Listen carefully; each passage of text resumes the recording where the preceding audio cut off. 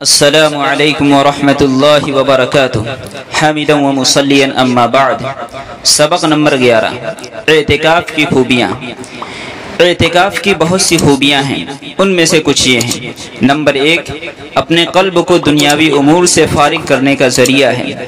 اعتکاف کرنے والا اپنے آپ کو پوری طرح اللہ تعالیٰ کی عبادت میں لگا دیتا ہے اور دنیا کے اشغال سے اپنے آپ کو الگ کر دیتا ہے تاکہ اللہ تعالیٰ کے فضل و کرم کے ساتھ اس کی طرف التجا کرنے کے لیے اس کا تقرب حاصل کرے۔ نمبر دو، اعتکاف کرنے والے کے تمام اوقات نماز میں صرف ہوتے ہیں۔ خواہ حقیقتاً ہو یا حکمن کیونکہ وہ ہر وقت نماز باجماعت کے انتظار میں رہتا ہے۔ نمبر تین اعتکاف کرنے والا اپنے اندر فرشتوں کے ساتھ مشابہت پیدا کرتا ہے، کیونکہ وہ اللہ تعالیٰ کی فرما برداری کرتا ہے اور نافرمانی سے بچتا ہے اور کھانا پینا بقدر امکان ترک کرتا ہے۔ نمبر چار، اعتکاف کرنے والا روزہ دار ہوتا ہے اور روزے دار اللہ تعالیٰ کا مہمان ہوتا ہے۔ نمبر پانچ، اعتکاف کرنے والا شیطان اور دنیا کے مکر و غلبے سے محفوظ ہوتا ہے، گویا کے مضبوط قلعے میں محفوظ ہو جاتا ہے۔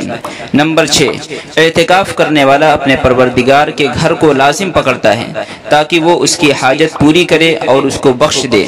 نمبر سات، اعتکاف اخلاص کے ساتھ کیا جائے تو اشرف الاعمال ہے۔ نمبر آٹھ، اعتکاف کرنے والے کو اللہ تعالیٰ کا قرب حاصل ہوتا ہے۔ نمبر نو، اعتکاف عبادت ہے، کیونکہ اس حالت میں بندہ اللہ تعالیٰ کے سامنے اپنی بندگی و عاجزی کا اظہار کرتا ہے اور بقدر امکان ہر وقت عبادت میں مشغول رہتا ہے۔ اعتکاف کے آداب و مستحبات نمبر ایک، نیک باتوں کے سوا اور کوئی کلام کرنا مکروح ہے۔ اعتکاف کے علاوہ بھی مسجد میں اور باتوں کے بارے میں یہی حکم ہے۔ اور اعتکاف والے کے لیے بدرج اولا ہے۔ نیک باتوں سے مراد وہ باتیں ہیں جن میں گناہ نہ ہو۔ مباح کلام کرنا ضرورت کے وقت نیک کام میں شامل ہے اور بلا ضرورت نیک کام میں شامل نہیں۔ اگر مباح کلام تقرب کے قصد سے ہو تو اس میں ثواب ملے گا۔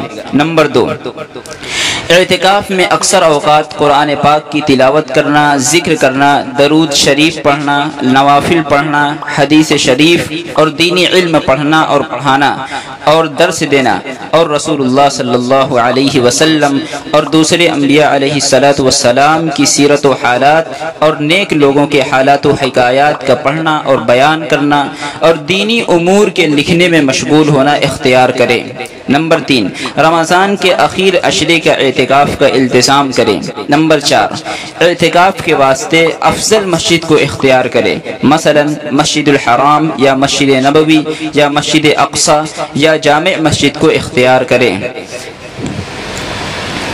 رمضان المبارک کے اخیر اشرے کا اعتکاف کرے تو اکیسویں شب کو یعنی بیس رمضان کا سورج غروب ہونے سے قدرے پہلے مسجد میں داخل ہو جائے اور رمضان المبارک کے آخری دن سورج غروب ہونے کے بعد مسجد سے باہر آئے۔ وآخر الدعوانا الحمدللہ رب العالمین۔ اسی طرح کی اچھی ویڈیو پانے کے لیے ہمارے چینل کو لائک، کمنٹ، شیئر کریں۔ جزاک اللہ خیرہ